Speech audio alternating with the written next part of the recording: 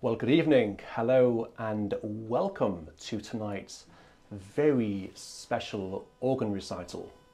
Not given by me, you'll be very pleased to hear for the first time, but given by a really wonderfully talented um, and experienced organist, um, Richard Brasier, who's going to play Bach, he's going to play Debussy, and he's going to play two pieces by César Franck.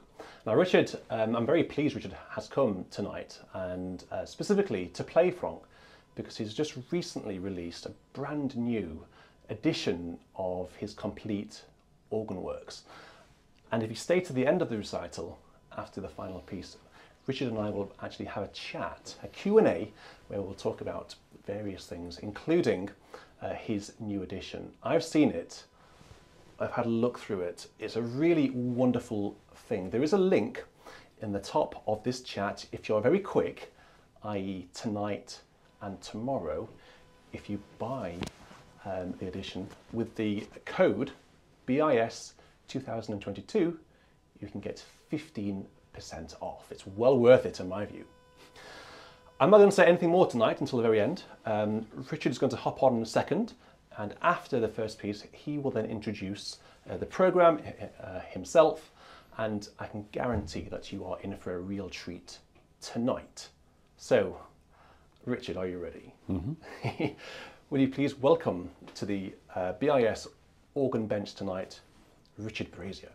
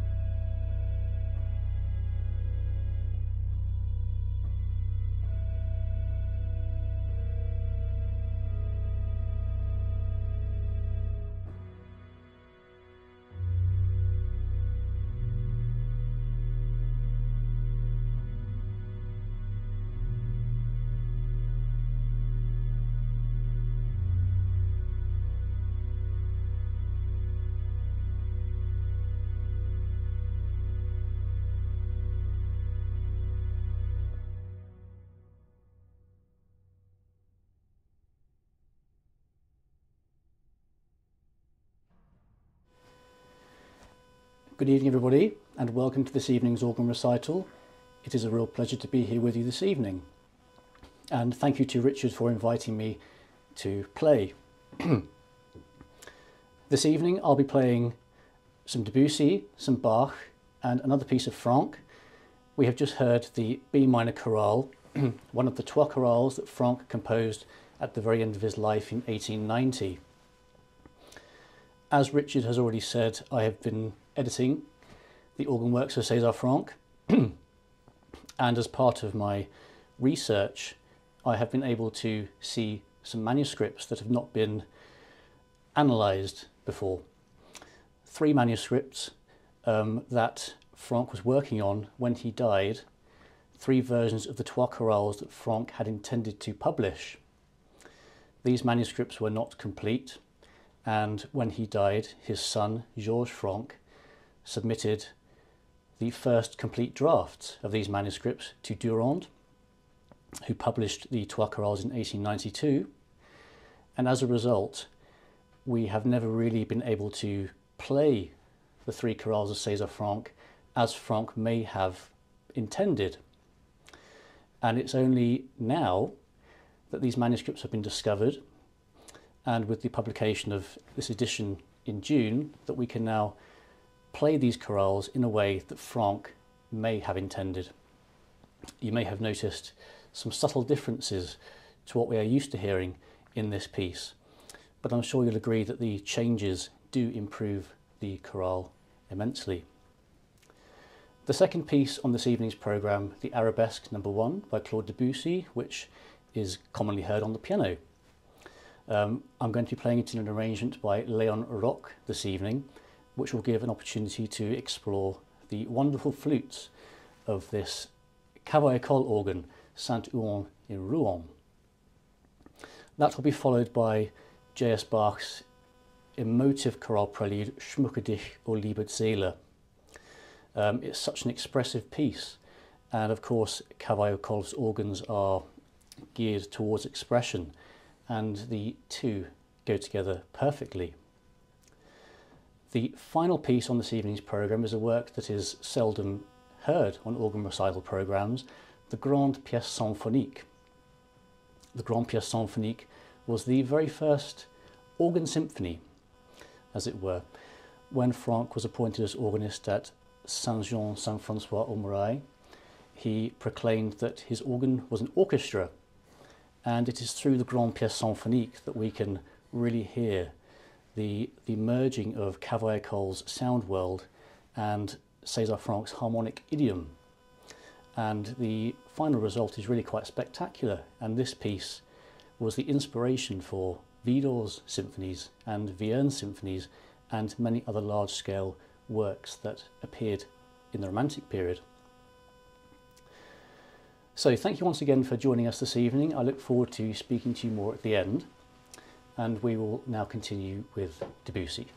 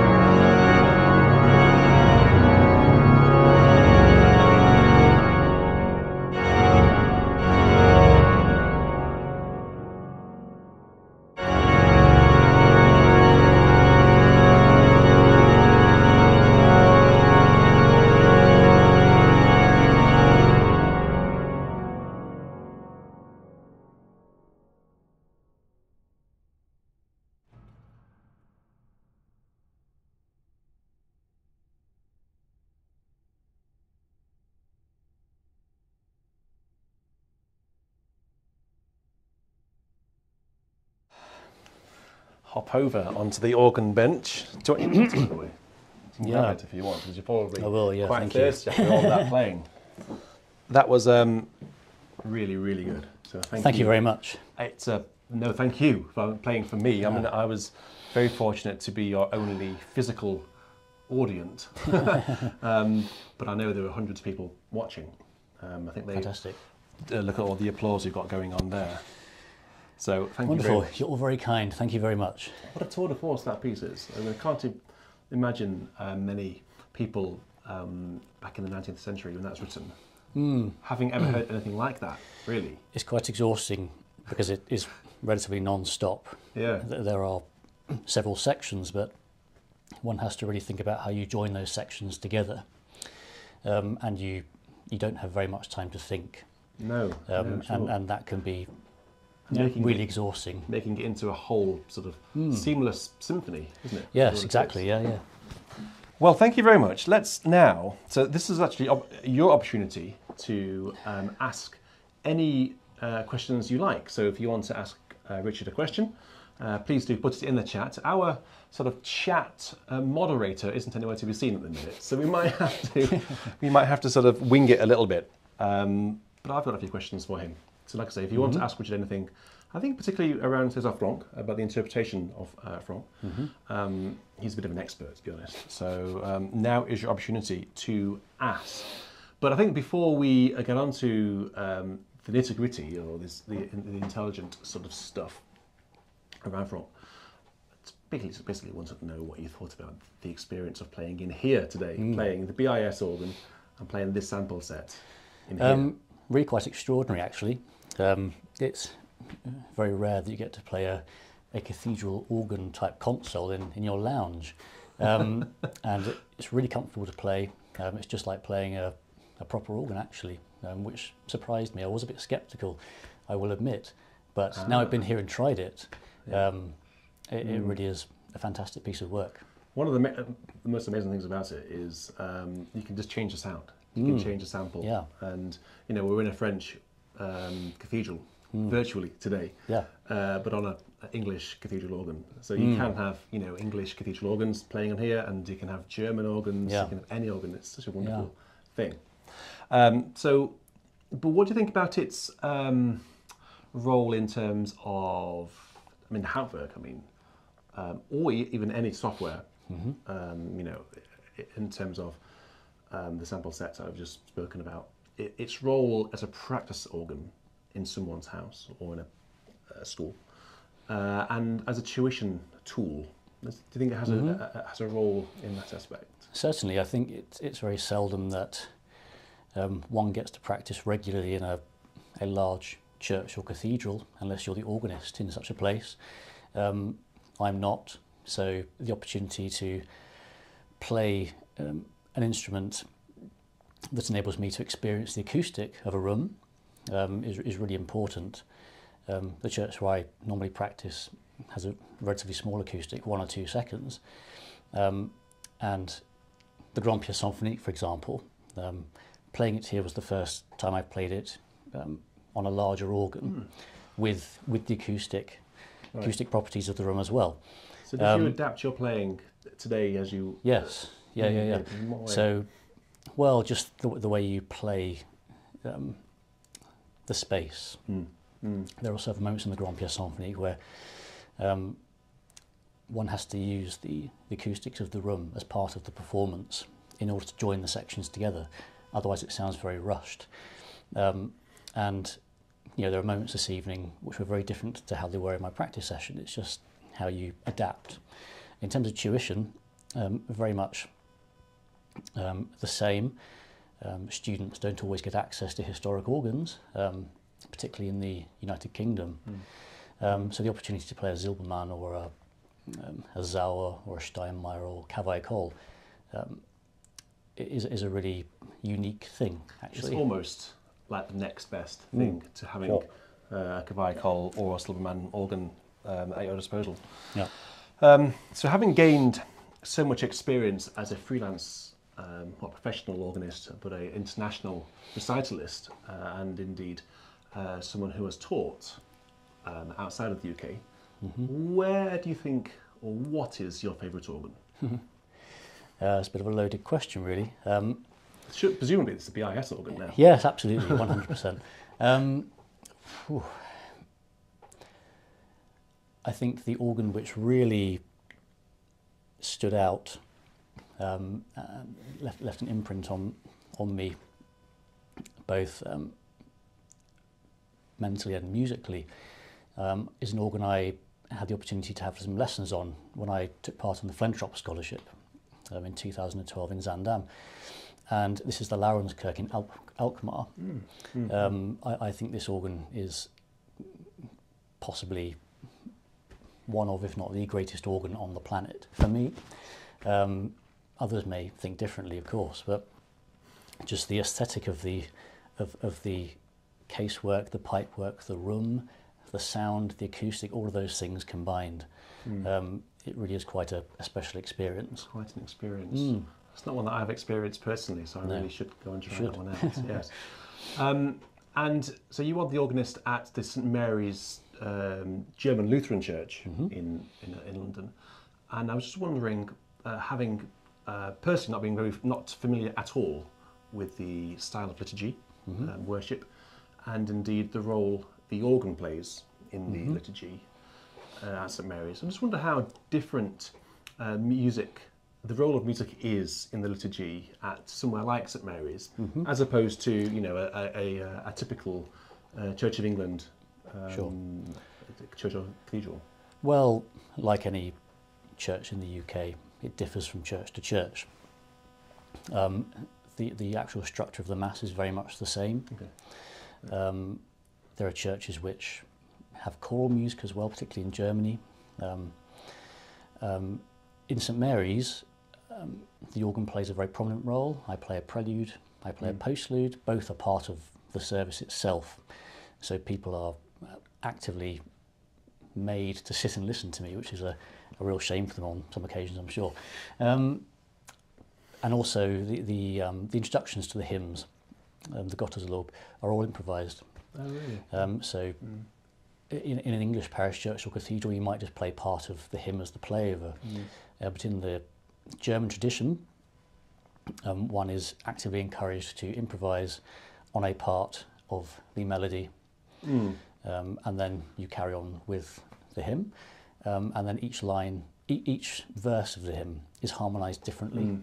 Yeah.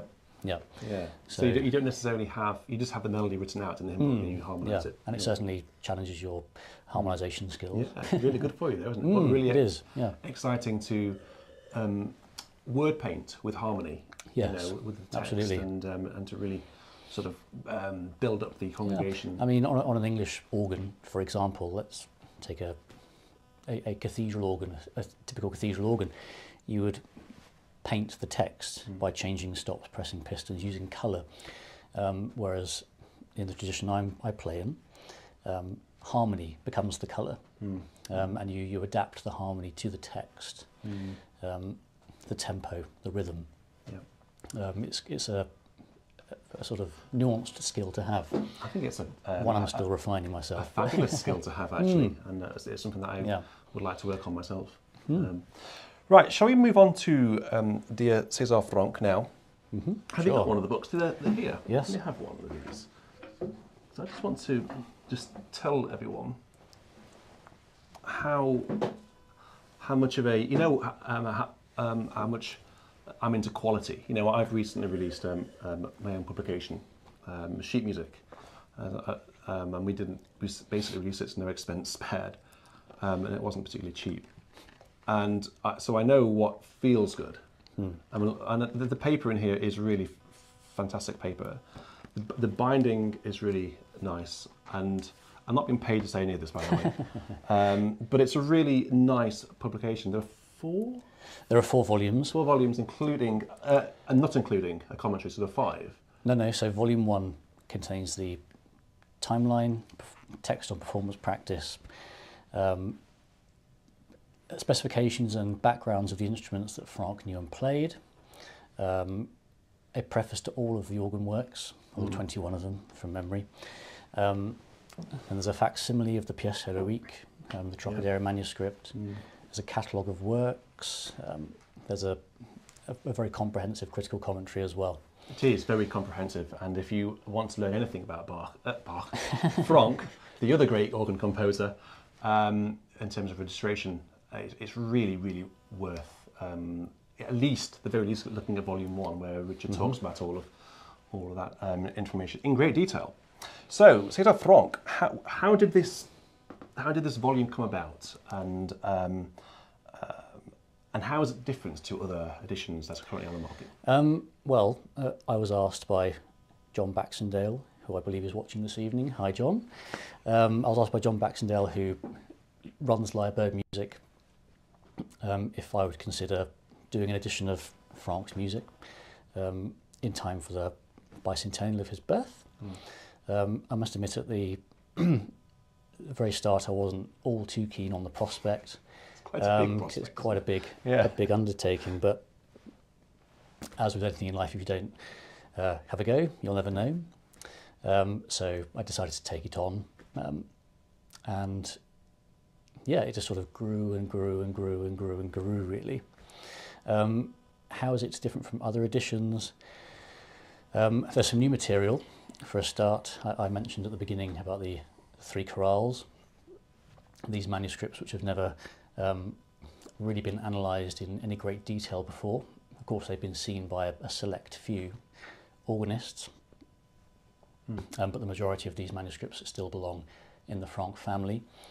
Um, so, in the B minor chorale, the, the, ch- the changes there were quite important actually to the, the overall structure of the piece, and they, they make it a much stronger piece as well.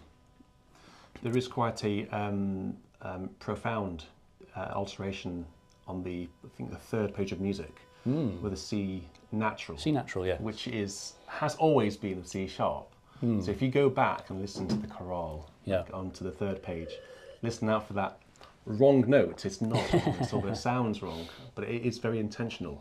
It's, it's, it's um, alterations like that which make this edition really, really fascinating to um, to, to study. I, th- I think also um, edi- editions can be very subjective, um, and as, as an editor, it is very, very difficult to sort of stay down the middle and, and not sway too far to the right or too far to the left. Um, the, the overall intention of this edition, which one might not find in other similar editions, is that we try to enter Franck's world. We try to see the music through his eyes. How might he have played it? Performance practice. How might Franck have adapted his technique? He was a pianist, um, and then switched to the organ. Which elements of piano technique did he bring over to the organ? Which elements of piano technique, technique did he ditch? Note commune, for example, the binding of um, uh, the, same note in two different parts. Um, did Franck use that in his organ works? He did when he accompanied Gregorian chant, for example. We, we know that. Okay. Right. Um, the instruments as well, it's, it's important. Um, you asked me earlier on about the registration of Franck. How does one register um, on any organ? Well, it's like any piece, really, you have to adapt. Um, one can't play the same registration on every instrument 'cause every organ is different.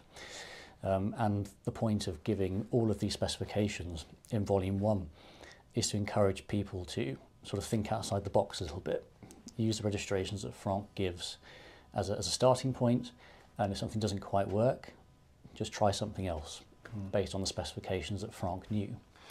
Well, that's really interesting because I was going to ask you actually Yeah. about um, registrations because César Franck, um, you know, French organists are very specific about their registrations. Yeah. Um, César Franck, I think, was particularly specific in, in his editions. Uh, throughout an entire piece, he would be very specific around pedal couplers, you know, um, Récit on positive, etc., etc. Yeah. Um, and yet he was registering the pieces as if someone was playing his uh, Saint Clotilde organ. So I so I wonder, you know, um, if César Franck was playing uh, Saint-Ouen, I mean, he wouldn't have known the organ uh, that we know in Saint-Ouen because it was completed after he died, but he did know Saint Sulpice. Um, presumably, he would have um, been a little bit more. Um, he would have added a bit more to the kitchen sink, as it were, if he was playing Saint Sulpice, Hmm. so the 32s, um, the 16s on the, the Récit perhaps, or would he? Yeah. Or would he have actually been quite? I think he would. Uh, Um, if, you, if you take the one manuscript, the um, second version of the Fantasy in C, um, which Franck played at the inauguration of the Saint Sulpice organ in 1862, um, Franck does give some registration indications, but they're very vague, which is Mm. really annoying actually, because we can't actually um, get, an, get a sort of overall idea of what which stops he might have used um, on, on that organ. Franck played um, the organ in Saint Eustache twice. And is what sort of specification is that? Is that different to Gautier? Well, so um, the Calumet organ, I believe, um, burnt down because Charles Spackman Barker was tuning it and somehow set fire to it. okay. Um, intentionally, so um, Ducroquet was um, Pierre Alexandre Ducroquet was uh, engaged to build a new organ, and Franck was one of the organists on this occasion, for which he did uh, compose um, one piece, possibly two more, which can be found in volume two of the edition. Um, but then he also played the organ again when it was rebuilt.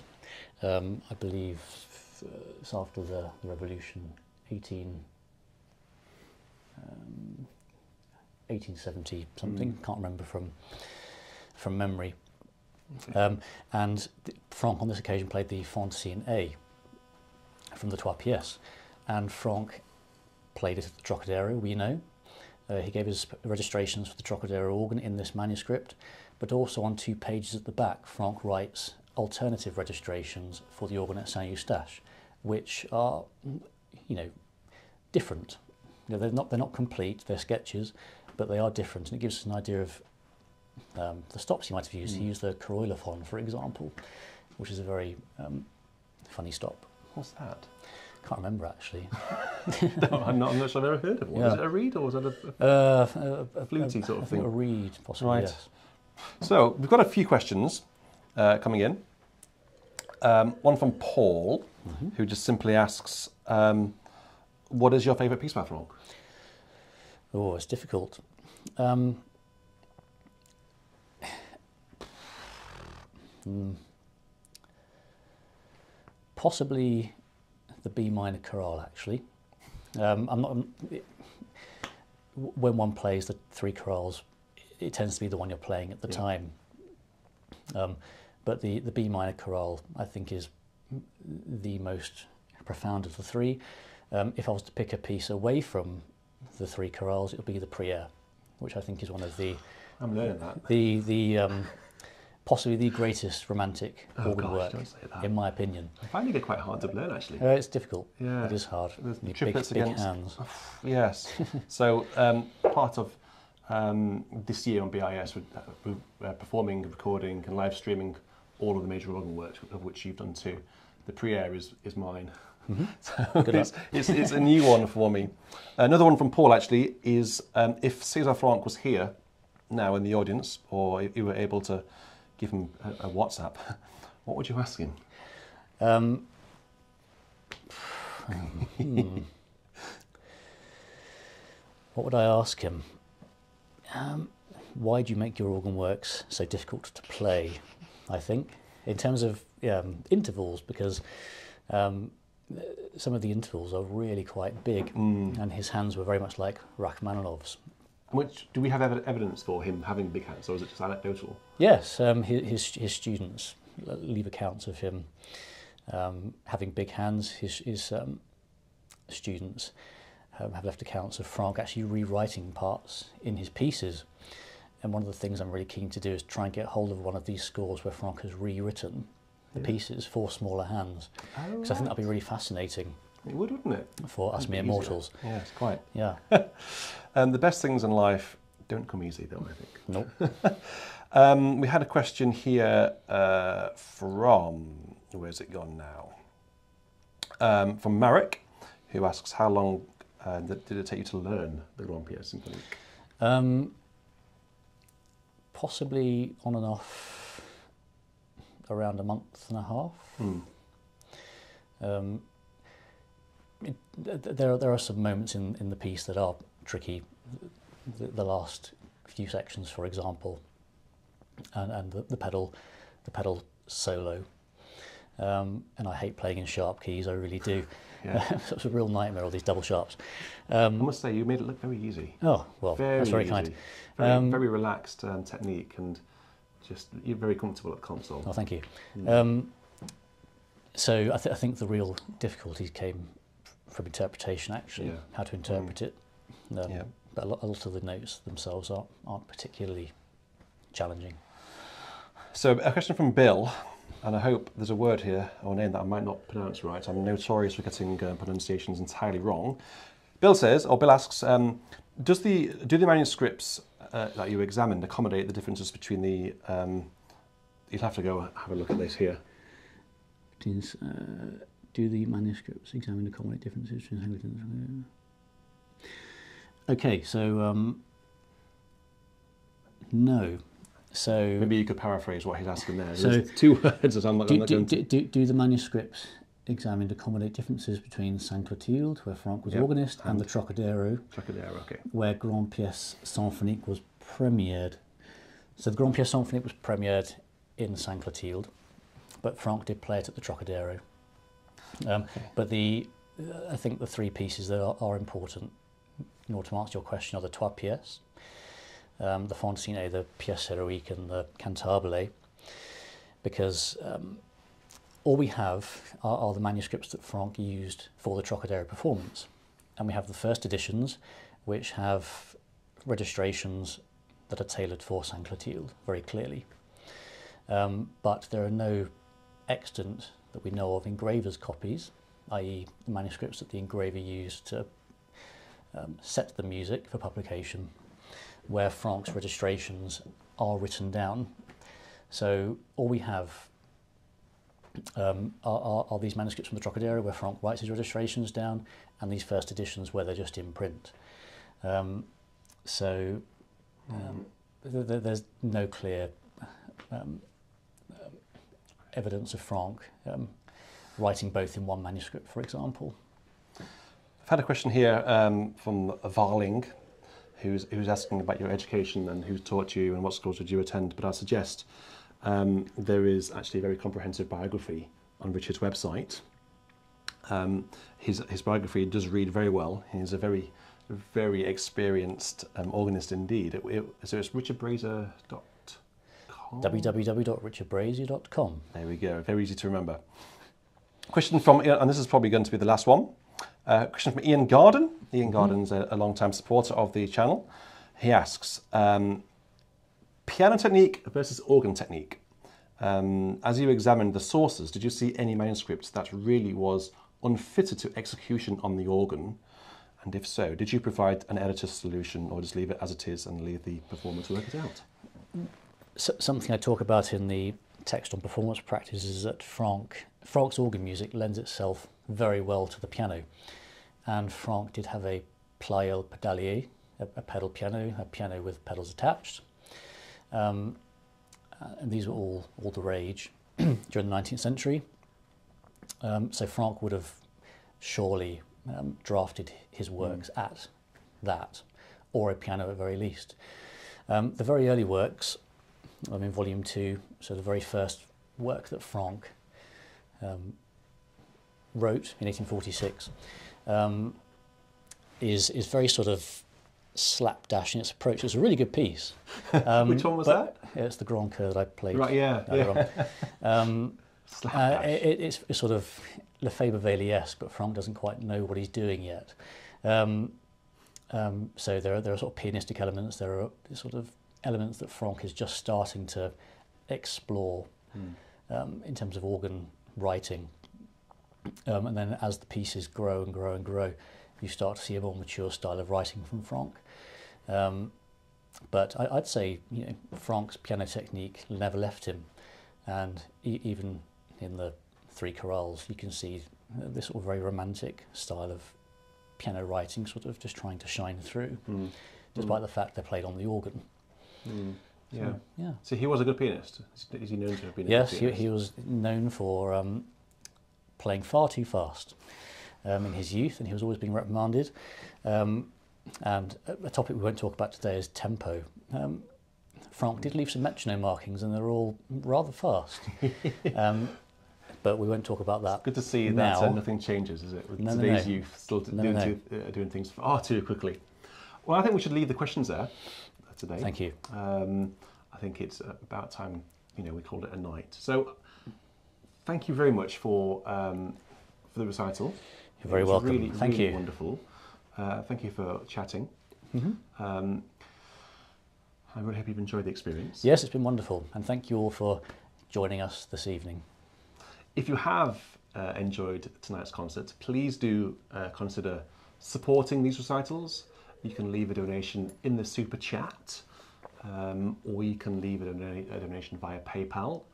Um, I'll put the links on the screen in a few seconds' time. So until tomorrow night, where I'm going to be playing a live um, virtual church, especially for Advent, with readings, uh, antiphons, choral music, organ music, hymns, and a big announcement as well. Um, I will say, I think we should both say a cheerio. Cheerio. Cheerio, everyone. Take care. Bye-bye. Stay safe.